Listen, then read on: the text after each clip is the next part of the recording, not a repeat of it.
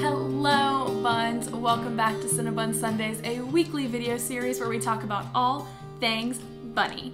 I'm Morgan, Cinnabun's bun mom, and today we are kicking off a brand new series on this channel all about how to get a bunny. So for the entire month of May, every single weekend, I am going to be going through each phase of the process of getting a bunny, bringing it home, deciding if it's right for you, how to get it all set up, all of the things. So if you are a new bunny owner or are looking to become a new bunny owner, this is the series for you and we are on episode 1. So buckle up, get started. Let's let's let's get a bunny. So let's just get started with the big question. Should you adopt a bunny or should you go through a breeder? Now this is actually an extremely like very heavy question. There are a lot of different opinions out there. There's a lot of different reasons to do one versus the other.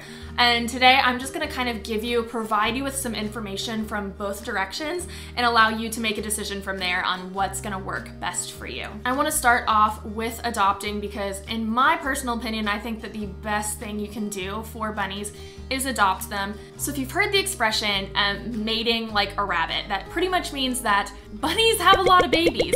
They have a ton of babies, and unfortunately, bunnies are such misunderstood animals. So they're having all of these babies. These babies are getting taken in, they're being adopted, and then they're getting abandoned. Rabbits are one of the most abandoned pets out there just because there really is not enough information out there on how to take care of them properly. So we have this issue of a ton of baby bunnies being born, but then we have this problem of a ton of bunnies being abandoned, which just leads to a ton of rabbits who need homes, which is why adopting a bunny is one of the best things you can do for the rabbit community. So just on that level, there are so many bunnies that need homes, which means that there are a lot of bunnies for you to choose from. Now, one of the simplest ways to adopt a rabbit is truly just um, kind of by accident. There are so many bunny owners who have two bunnies who they think they're both girls, think they're both boys, and then they hit puberty and whoops, baby bunnies. And this can happen all the time. So sometimes that can just be through Instagram. You find out that a bunny is giving birth and you can reach out to people that way.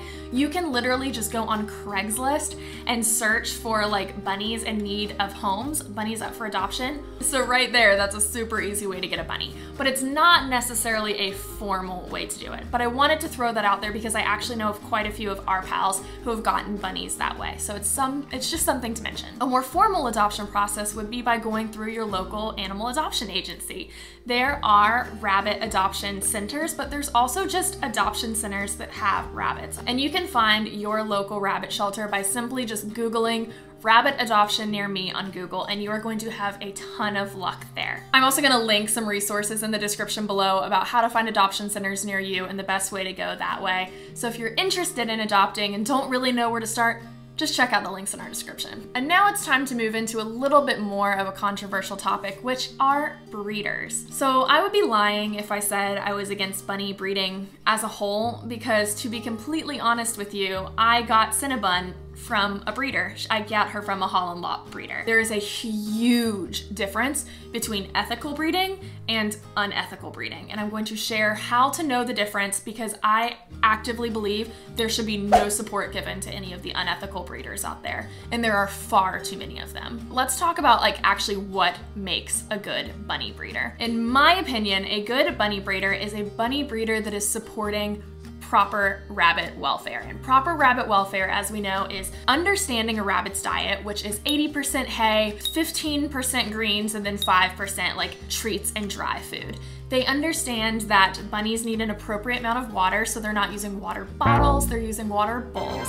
And most importantly, a good breeder knows that proper rabbit care means that that bunny is not living in a cage. So while you are researching breeders, it is so important that you talk to the breeder and you get an understanding for their philosophy on rabbit care. So for an example, in my experience, when I was getting Cinnabun, the breeder I talked to, she had an entire document that was like 10 pages long of proper rabbit care, what you need to do with your rabbit. I even had to sign a form saying that I agreed that this is how bunnies should be raised and that I agreed to raise them this way in order for me to get the rabbit. So she's making sure that any bunny that she is giving away or that she is selling is going to a good home that's going to be raised properly. Things to stay away from is if you were to tour a facility and they have a ton of wire cages, you can tell that the bunnies do not have the appropriate amount of food. All the bunnies are squished together in cages together, and you can tell that this is not the life that you want to be giving your rabbit, then that is not something you want to be supporting, right? There are bunny breeders out there that truly do believe that there are proper ways to raise your rabbit and they really want to push that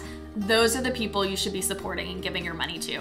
Do not feed into an industry that is shoving rabbits in wire cages, that's not giving them the diet that they need, and who are just trying to like get as many bunnies out there and then don't give a really about where their bunnies end up. One resource you can check out is the American Rabbit Breeder Association, which is really just a place where registered rabbit breeders are listed in an index.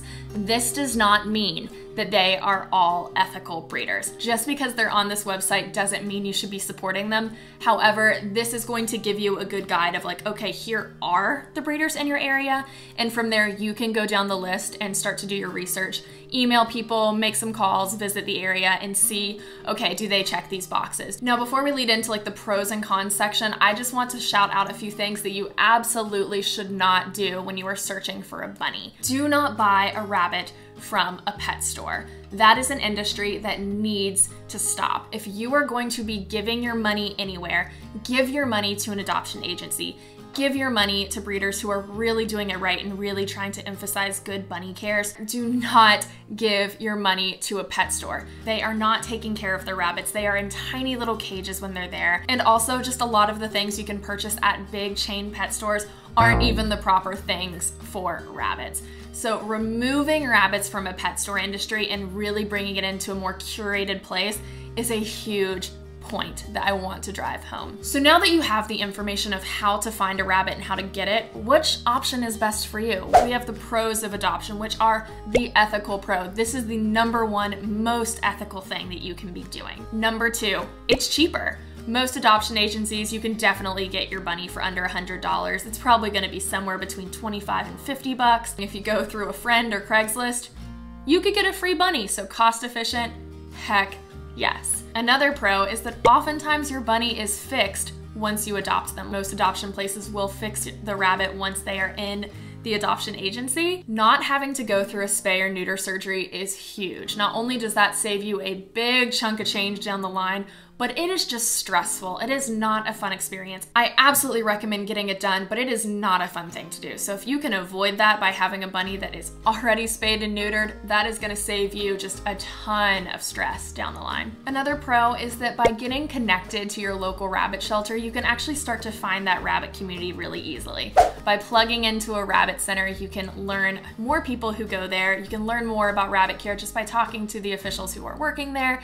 And it's just a nice way to like kind of join in in that rabbit community in your local area. So now let's talk about a few cons with adopting. One is you're gonna have to be a little bit more patient you still want to be specific about what kind of bunny is right for you. And so if you have an idea of the kind of pet you want to bring into your house, you're going to have to kind of be waiting for that right bunny to come your way.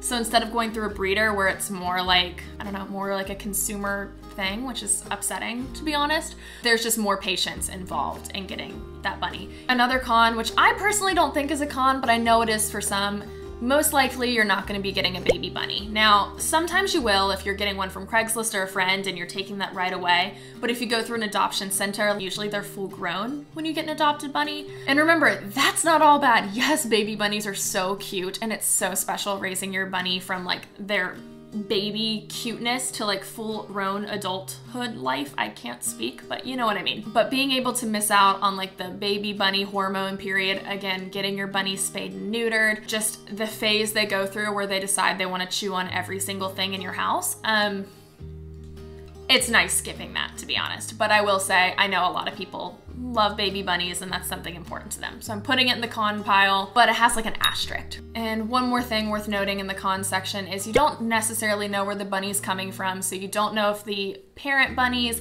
have like a history of health issues. You don't necessarily know all of the genetic makeup of your bunny, which isn't super important like for the bunny itself, but just knowing like is there anything I should look out for? Has like there been cancer in its family? Are there things that it could be more genetically predisposed to. So that's the information there about adopting bunnies. The pros totally outweigh the cons in my opinion, but it's important to lay it out.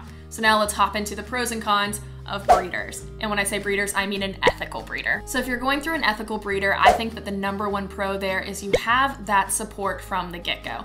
A really good breeder will stay with you after you adopt the bunny that is somebody that you can reach out to and ask questions about. That is someone where if you adopt this bunny and maybe you realize you might have made a mistake and they're not meant for you, you can return the bunny to that breeder and not abandon it elsewhere. So having that support, I think, is a huge plus. Another pro of going through an ethical breeder is being able to plan a little bit more. If you know exactly when that bunny was born and exactly when it's gonna be ready, that gives you time to really prep your space, bunny proof appropriately, have everything you need ready so that on the day that you're expected to pick it up, you can do that. A third pro to going through an ethical breeder is, I mean, Baby bunnies, again, although they have the cons of chewing everything up, I think that mine and Cinnabun's bond is so strong because I have raised her since she was eight weeks old. She was a teeny tiny baby and watching her grow up and learning and doing that together has been a really special experience. And the last pro that I think is just worth mentioning is again what I keep saying about understanding like the health history of the bunny's family and understanding what they could be predisposed to and knowing like the length of the life of the other bunnies in this family and just having that peace of mind mind. I don't think that that should be a deal breaker. It's just worth putting in the pro column. The number one con of breeders is that you're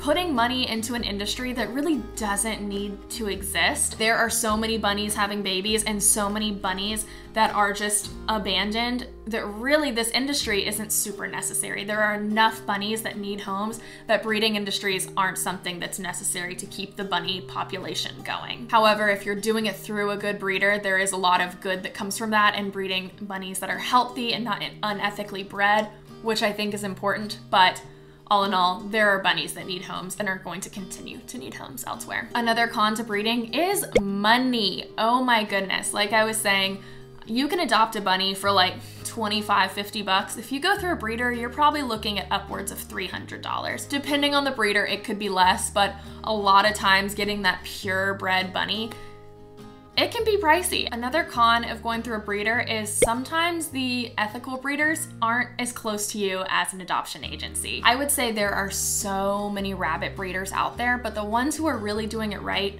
it's a much smaller number. So you might actually have to travel farther to get a bunny from a really solid breeder when you could just go to your local animal shelter and pick one up yourself. Bunnies do not love travel. They don't like a lot of change. And especially when they are a brand new baby, that is a lot for them. So having to put them through that kind of travel can be pretty scary. But that's not to say that there isn't an ethical breeder right around the corner from you. It kind of just depends on your location. But again, do that research. Okay, buns, that is it. Those are my tips for how to get a bunny. I do want to say though that no matter what, if you have a bunny now and you got them from one of the ways I said not to do it, it doesn't matter. You have a bunny. The most important thing about bunny care isn't necessarily where they come from, but where you take them and the way that you raise them. So despite the way that you got your bunny, if you did it in a way that I necessarily didn't recommend, what you can do now is raise that bunny properly and give it a home that it really needs and deserves. I hope you're having a lovely Sunday and we will see you next week.